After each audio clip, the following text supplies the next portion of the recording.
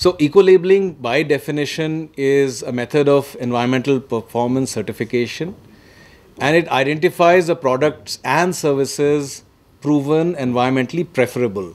So, that's a very important part that, you know, um, in a standard or a label, what is very important is a threshold you know where do you say okay method aa you know how to uh, quantify it but where is do you put the th- threshold? And that's where a lot of the decision on labeling goes because uh, you know as we we worked on the energy labels at BEE and other you have to find that balance between finding the best product but making it very exclusive and expensive or making a low threshold so there is no absolute this is a decision. So that's why this, even this definition doesn't say that it is the best. It's saying this is a preferable option. So you're trying to make, as I was saying, it's a thing that you progressively make stringent, progressively increase. What is a preference is what a eco label will indicate. You would recognize all of these one way or the other. These are all different kinds of eco labels uh, even an energy label by its definition is also an eco label it's because it's looking at the one environmental aspect uh, of uh, of labeling. And many of these things you will find are a part of our uh, daily use products or are coming into the the context. Uh, so we started off by looking at you know which are the global eco labeling programs and we found hundreds and hundreds of them. Some of them are very, very specific for one purpose only. Uh, but some of them are very broad and a general purpose. So we listed some to see which are the kinds so that you get a sense of where it is currently going on. And we also said what is it that they measure. So in general, eco-label measures the overall environmental impact. So it starts from the raw material procurement, manufacturing, distribution, use phase, and disposal. So, so far, a lot of our effort has been on the use phase. But if you look at many products and smaller products, for example, you can take a packaging for a shampoo. You know, so what is the environmental impact during use? But a lot of it is in the plastics that are going in, the manufacturing process, that the, the emissions during manufacturing, how is it distributed from across the country, the emissions impact of transportation, and all of it is a part of uh, the the label. And then what happens to the shampoo bottle after you throw it? Is it uh, biodegradable? It is recyclable, or is it a one-time use? All of this will determine what is the environmental impact of that shampoo label, shampoo bottle. So uh, we listed some of the popular eco-labeling programs and the ones you know, and there's an equal number of private sector and government led efforts in this. So we have listed some that are government led for but you know uh, uh, thailand china of course in india the ecomark in canada then the energy star in the us eu eco label china they all have now a government mandated eco labeling program so we looked at three major types of eco-labels. So the EU eco-label, I said, is a voluntary scheme established by the European Commission and covers a wide range of products and services.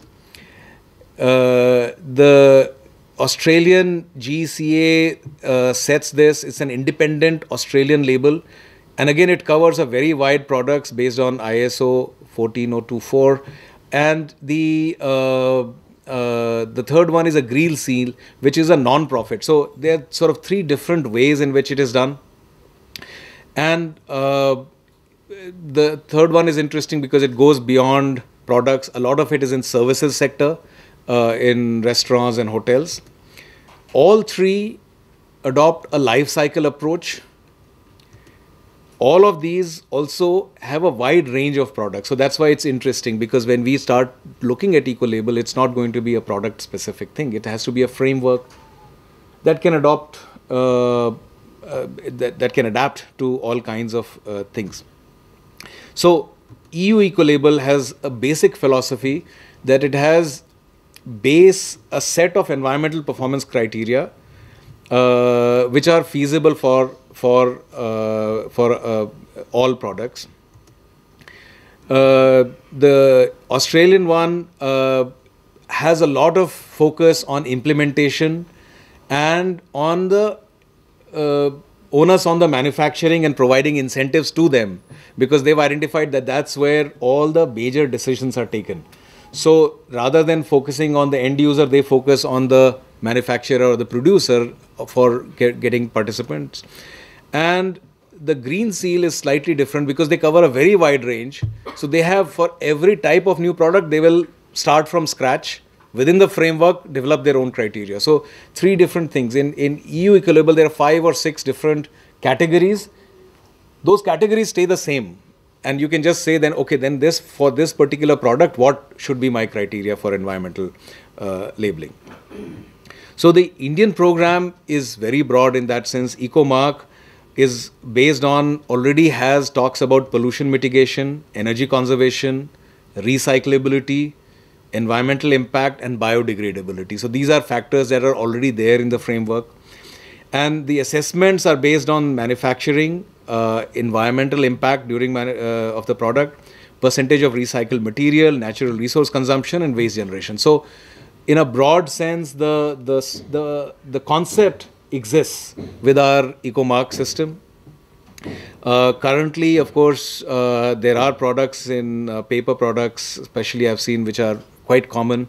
Uh, leather, fire extinguisher, and flush doors and shutters, where there are certain products and that are under EcoMark revise the eco mark to accommodate this.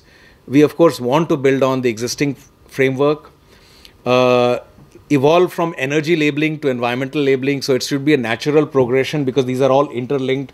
I would say the toughest part of the labeling is becomes the energy, and if that is already taken care of, we can focus on all, a lot of the other things. So it can be done symbiotically it has to link to our NDCs and, of course, the other policies of refrigerant phase out that is there.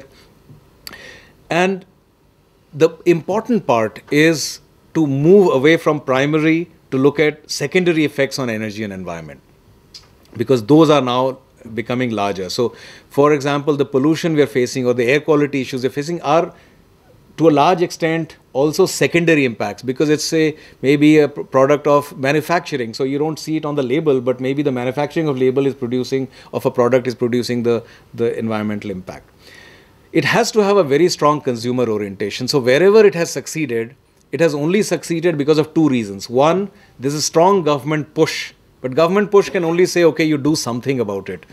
The the pull has come from the consumer, where the consumer has recognized the fact that there is a, a way their their choices can affect their environment.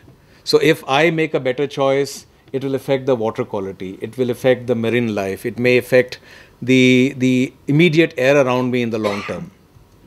And of course, uh, uh, the approach has to be very wide because you know once a framework is established, it should be easy to add more products and systems and services. So the more time and effort in just revisiting and relooking at how to make this a wide and adaptable system. So we are looking at global warming potential, waste generation, resource consumption, and pollution generation uh, uh, as the main criteria. And within the life cycle of the product, you know, the typical process, the ISO process, you start with a high level input. You look at more detailed things like refrigerant, other parameters. Uh, if it is talking about air conditioner, the leakage rate, the material mass, the power generation emissions related to that. Then climate data to look at energy consumption which is a part of the energy label. And then the overall life cycle climate performance in terms of the emissions that will give us the overall scope of the environmental part of the air conditioner, for example. All the relevant standards uh, that are there, uh, we know them well. The ISO standards, the international uh, life cycle data is there for many of these products. The ODS rules are clear. BEE has a labeling program now which already looks at energy for the next several years. The waste handling rules from uh, Central Pollution Control Board are there. Uh, MOEF clearance for uh, for factories, for industries is there that has a lot of inventory data on factories and their emissions. and of course our IS standards for uh, air conditioners.